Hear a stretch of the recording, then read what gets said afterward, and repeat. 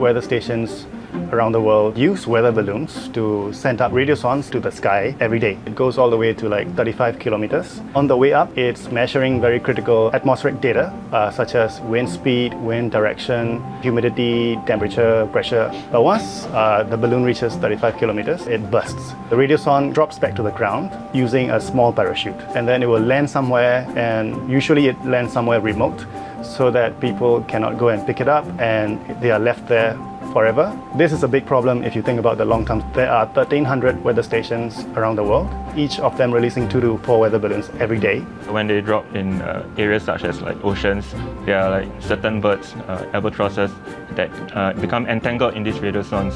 Uh, instead of uh, radiosondes uh, being single-use and disposed and polluting the environment, we have invented a device that is reusable and you can actually guide it to collection points to be used again.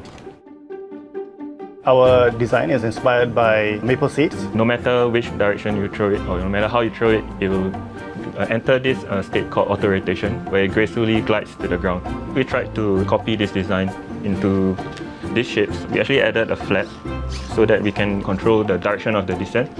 Radio Radiosondes can be recollected because it can be landed in a collectible zone.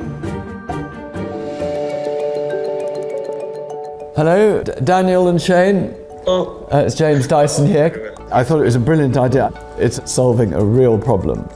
Anyway, I wanted to say that you're the winners of the Sustainability James Dyson Award. that is incredible. Actually, we were very shocked uh, to see him on a video call. Quite humbling, like to see someone as important as uh, James Dyson, spending the time to look through the inventions from all these young inventors and selecting the winner himself I, I feel like it's very touching and very humbling moment for us.